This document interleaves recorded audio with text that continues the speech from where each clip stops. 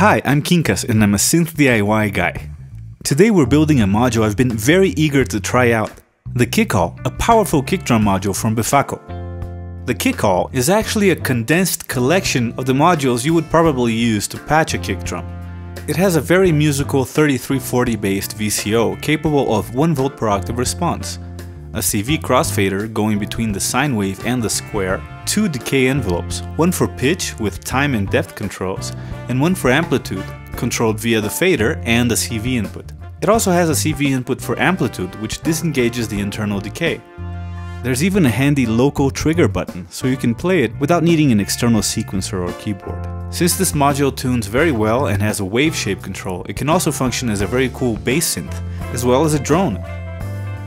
In the box, you get a printed build manual, which I suggest you follow closely, as well as every electronic and hardware component needed to build the module, including a power cable and knurlies for mounting it, as well as a nice black panel and both PCBs. This time the PCBs came stuck together, so I had to break them apart first. Easy peasy.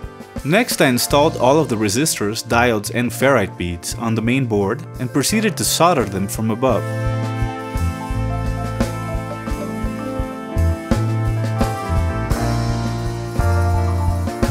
Then I used the second PCB to hold the IC sockets in place as I turned the board around to solder them. This time the sockets covered the designators for some of the capacitors, so I recommend you first take a picture of the PCB with your phone for future reference. Then I installed the capacitors, minding the polarity of the electrolytic caps.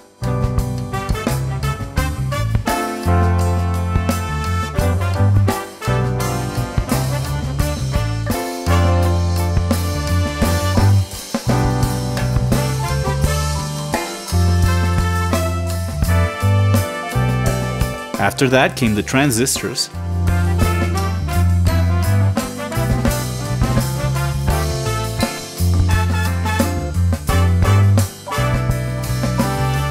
Followed by the trim pot. Snap on the ICs, minding their orientation. Then the male pin headers that connect the boards together, making sure they were very straight. And finally the power header, and board 1 was done. Moving on to the control board, I again started with the resistors and diodes, soldering from above, trimming and touching up from behind. Then, this time using the panel to hold them in place, I installed the IC sockets.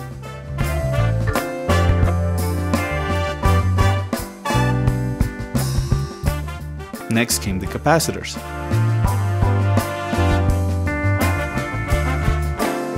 Then I snapped on the ICs and soldered on the female pin headers, before starting with the panel components. First the fader gets installed and soldered on. Then I placed the jacks, pots, the LED and the button, but did not solder them yet.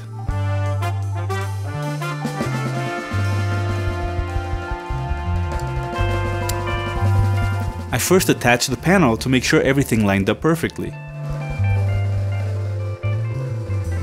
Then proceeded to solder on all of the remaining panel components.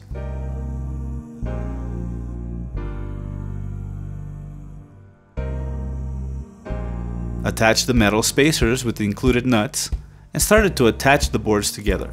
They didn't fit right away, I had to bend some caps out of the way to make it all fit. Do so carefully.